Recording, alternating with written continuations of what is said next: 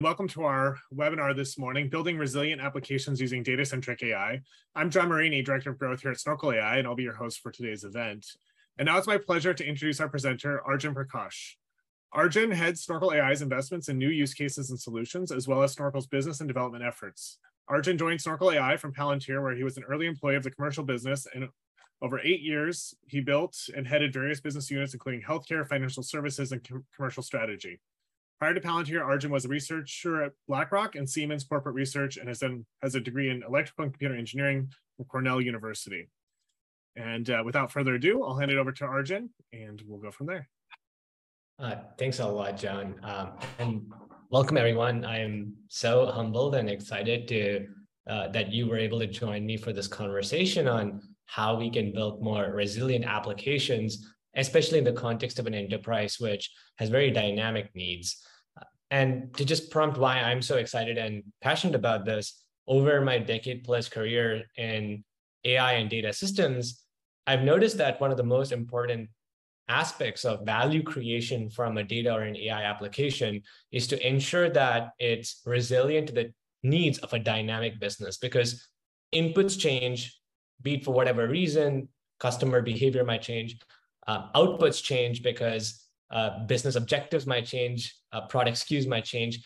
And it's really important for a data and AI application system to be resilient and adaptive to those needs so that the business can bet on value creation. So the way I want to maybe have this conversation is by talking a little bit about some of the different approaches to building automation and AI systems starting with the very simplest, building up to machine learning models, talk about their various pros and cons, and then derive from first principles a approach that combines the best of all worlds to create a resilient AI application. So without further ado, I want to get started with maybe the first and most simplest but most prevalent of these systems, which are rule-based systems. And rule-based systems are really very prevalent and have been around for decades. And at its very core, they allow a user to encode a cause effect relationship. And they have many advantages that come with them. Firstly, and most importantly, they're very transparent and auditable. And there is a very clear logging of what the business logic that goes into it is. And the benefit of this is that it's very approachable to a non technical SME. And when you combine these, what you end up with is high iterability. So when an SME notices that something's not working or they want to make an improvement to the system, it's very easy to make a small change, test the consequences of it, and make an update to the system.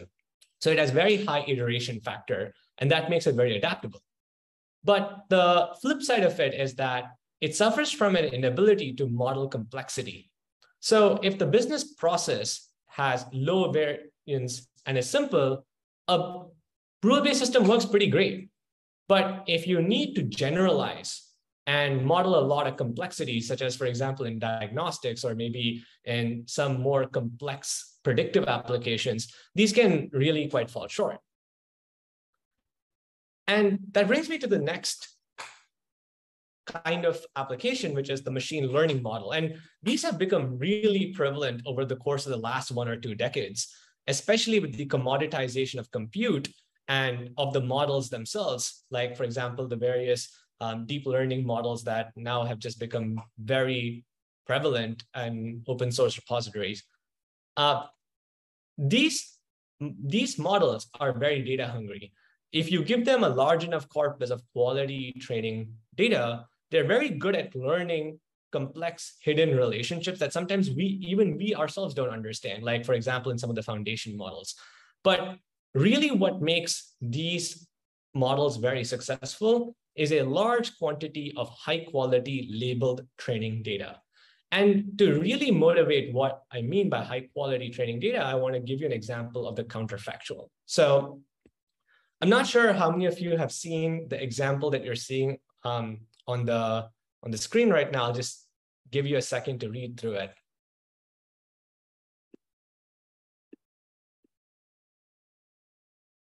So back in 2020, it was discovered that pretty much the entire Scots version of Wikipedia, which is the part of Wikipedia written in the Scots language, wasn't written by a Scots linguist or even somebody from Scotland.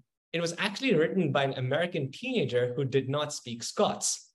And this has some very obvious consequences in terms of people learning the wrong, having the wrong takeaways of Scots. But more profoundly, you have these large language models that are trained on Wikipedia. And these large language models get and end up getting used in chatbots, voice agents, and promulgating their inferences to tens of millions of people. And at an extreme end, these large language models are used to write Wikipedia articles at times. And in this sense, they create this vicious circle and in the process end up overwriting the history and culture of 1.5 million people's language. And what this really elucidates, and in a very extreme example, but also a very real example, is your training data really matters. It's important to create high quality training data and have ways to audit and govern it to ensure that you're feeding your model good quality stuff. And this is really being the core tenet of computer science for a long time, garbage in, garbage out. And this prompts the question, right? So how do enterprises create training data? And there's really just two approaches that organizations take today. The first is uh, they might use a labeling vendor, or they might choose to label it internally. So if you, but each of these have a have their drawbacks if you use a labeling vendor, there are some issues. Like, for example, the most obvious is privacy, right? So if you're working with very sensitive healthcare data or uh, financial transaction data, then you don't really have the privilege to be able to send it outside of your firewall to some external party. Uh, that is a very obvious issue with using external vendors. But even beyond that, the external vendors don't have the expertise to deal with the nuance that your internal practitioners might have about your data. So a very obvious example of this is healthcare, right? So if you're a pharma company or say a provider, your biologists and your practitioners fundamentally understand the nuance of the diagnostic or about the drug that external parties, even if they have an education in biology, might not necessarily understand. And this really compromises the quality of your training data. And let's say, for example, you get it labeled and you come back and your practitioners find some errors. Each of these iteration cycles with an external party ends up being quite long because there's a person on the other end you're dealing with. It's being manually labeled. And what usually ends up happening is people just compromise on the quality of the training data that they use for their model building application. Now, some organizations might decide to deal with this by bringing the labeling in-house. So you have the right people looking at the data, but what often ends up happening is you don't have enough of them.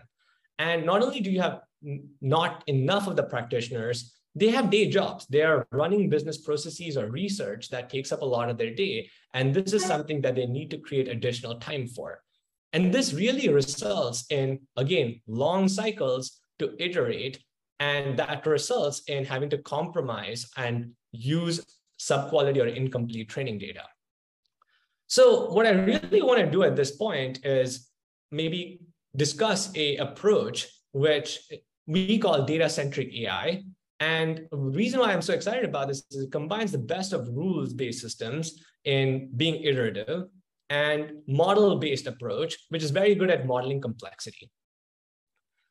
To really understand DCAI, data-centric AI, it's important to understand what a labeling function is. So to understand a labeling function, let's maybe contrast it with manual labeling. In manual labeling, you have people who are going through every single data point and labeling it individually. So you need eyeballs on as many data points as there are labels at the end of the day.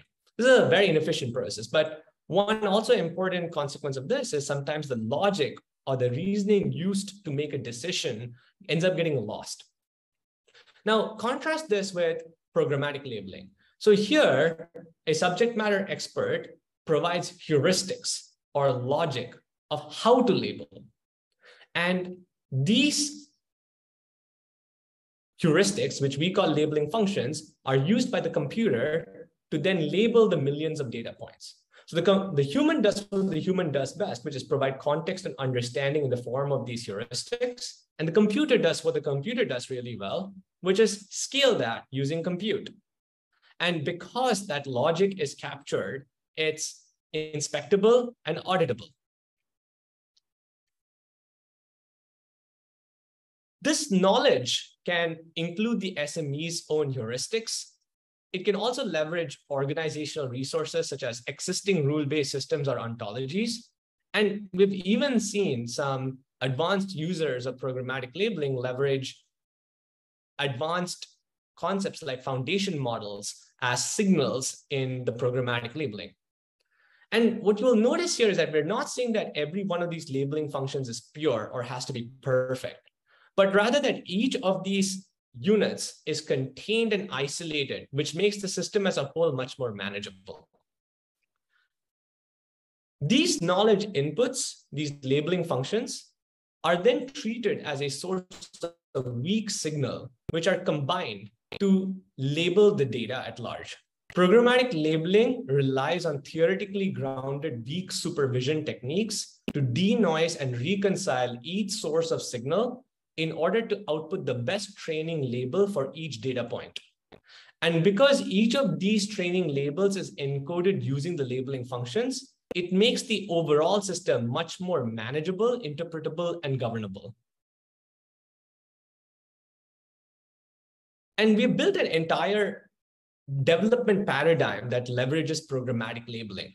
So when you think about it, because we have programmatic labeling, we are now able to label much faster. So it takes an order of magnitude less time to create the lab training data. The consequence of this is that you can now focus much more time on improving the quality of the training data to drive better model performance. And every time you notice that your model performance is degrading or it's not at the bar, you can ask what if questions to analyze whether the source of the error is the data or the model. Here's a little dirty secret that I've learned. It's usually the data that you have issues with. So now as part of the iterative model development experience, you can go back to the data, update your labeling functions, and with a push of a button, relabel it in a matter of a few minutes. And if you notice, once the application is in production, model performance is degrading because of data drift or concept drift, you can really isolate the source of that drift to individual label functions, of which there are dozens, and update them to then relabel the entirety of the data. And as a result of this, you now keep the model relevant to changes in your business. This entire paradigm of application development and maintenance that is built around programmatic labeling and the core data foundation is something that we call data-centric AI. And it's a very core tenet of the Snorkel Flow platform. And using this approach, we have produced an array of proof points across various different industries. So what you're seeing on the screen are some examples of measured acceleration that our customers and research partners have observed when they use the Snorkel Flow platform. These help underscore how repeatable this process is across different customers different use cases and different industry. And I'm happy to talk about each and every one of these if it's of interest to you. But what I want to do at this point is dive deep into one of these case studies to lift the lid and show you how this works. So I want to spend some time talking about a Fortune 500 bank that we worked with. Uh, one of the emerging trends in financial services is a move online for customer service. And the hope is that by making customer service more real time, more on demand, it improves customer satisfaction, reduces attrition, and just provides an overall better financial product to the customer. COVID was a very testing time for a lot of banks because instantaneously, a lot of these services that used to happen at brick and mortar stores needed to go online. And it's not reasonable to expect the same call center task force to deal with what is effectively an exponential increase in the nature and number of tasks that people want to carry out.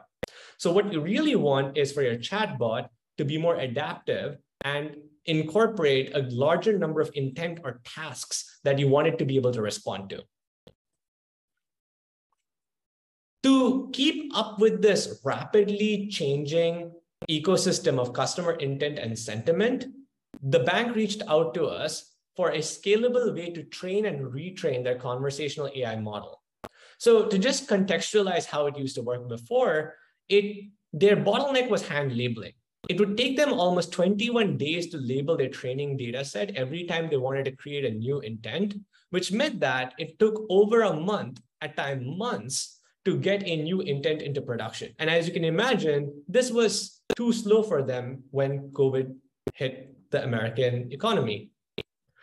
Um, and the consequence of this is really that because the chatbots suffer from low accuracy and unresolved intents and questions, customers leave the chatbot and try to escalate it. So the bot containment rate as a metric lowers. But that has two consequences. Firstly, people have a bad experience. When people have a bad experience, they attrition and it causes customer churn. But also, it is more expensive to service a customer using a human agent than it is a chatbot. So this is actually costing the bank a lot more money in terms of uh, what it what what the cost of customer service is. So in working with Snorkel, they were in a week able to build a high cardinality utterance classifier. And they trained this classifier over 30,000 programmatically labeled conversations.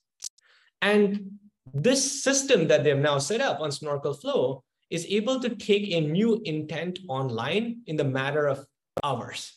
So this takes two forms. If they have a new intent that they want to be able to add the system, they can label the data and take it online very rapidly. Or if they detect a changing customer behavior or pattern, they can relabel the data by updating the labeling functions and take the system online very rapidly.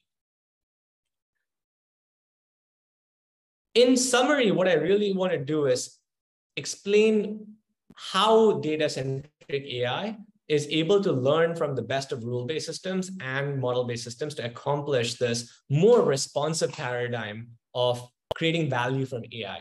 So to recap, in rule-based systems, you have a very adaptive and iteratable system, which is very accessible to a plethora of different persona, personas.